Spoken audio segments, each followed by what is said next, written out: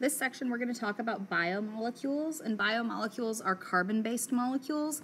Carbon-based molecules are the foundation of life. And this is actually a really cool image of an elephant in utero.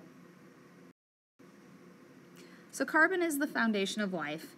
And what we mean by that is it actually makes up all of our biomolecules. And that's because carbon has some pretty cool properties. Carbon has four electrons in its outermost energy level, and that's going to be the electrons that are going to interact and form bonds. So since it has those four electrons, it can potentially form four covalent bonds with other elements. If you remember back to when we talked about bonds, covalent bonds are extremely strong and they don't disassociate in water. So because of this, we are going to have strong, stable molecules that are made, which of course are the type of molecules we want in our bodies and in other living things.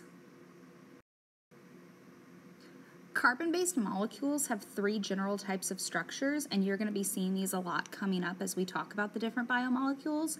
The first type of structure is a straight chain. This can be seen a lot when we go into our lipids, like the fatty acid tails are just long hydrocarbon chains. You can also have branched chains. You saw this earlier when we looked at the carbohydrate on top of a glycoprotein. That was a branched chain. And then we see rings a lot when we see different types of carbohydrates. Carbohydrates are often rings that are repeated over and over again. Another definition that's good to know is what an organic compound is. For biology, an organic compound is any compound that contains carbon.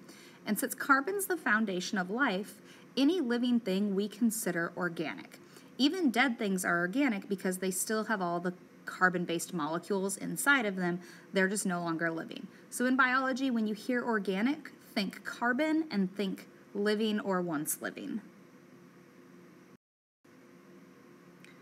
So this section we're talking about biomolecules and the future sections we're going to do in this unit are all about our different biomolecules. So what is a biomolecule? Well, it's just a term we use for these four common macromolecules in living organisms. Now, when we say macromolecules, macro means large, and these are just really big molecules in living organisms. Specifically, the four molecules that we will be talking about are carbohydrates, lipids, proteins, and nucleic acids. Our biomolecules have similar structures because a lot of organic compounds use these repeating subunits called monomers. Monomer means one unit because mono means one. And so these monomers are then repeated over and over and they are bonded together with covalent bonds to form a polymer. And poly means many. This picture here shows that those five monomers together make a polymer.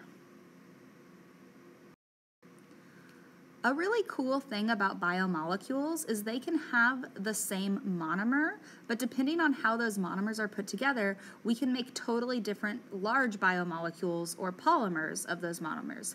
So both of these images, the monomer is glucose, which is a single unit of sugar.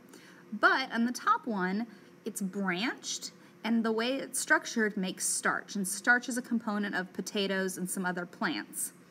Below, the single straight chain of glucose is making the polymer cellulose, which would be in celery and grass, and it's very different than starch. Our bodies actually can't really digest it.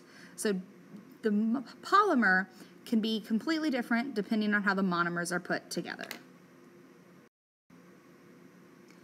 This last side is just a list of some prefixes and suffixes that we will be using this whole unit. Some of them you've already seen, some of them you won't see until our next section of notes. Glyco you've seen before because we've talked about glycoproteins, which is a carbohydrate chain or a sugar attached to a protein in the cell membrane. So glyco just means sugar. Mono means one. You've already learned about it as a monomer. We'll learn about monosaccharides in our carbohydrate unit. Di means two. Two monomers together make a dimer, or two saccharides together, two sugars together make a disaccharide. Poly means many, like a polymer or a polysaccharide. And then our last one we'll talk about next section, But sugars often end in the suffix "-ose, which is actually really handy because then we can know it's a sugar. Examples of that would be glucose, sucrose, and fructose.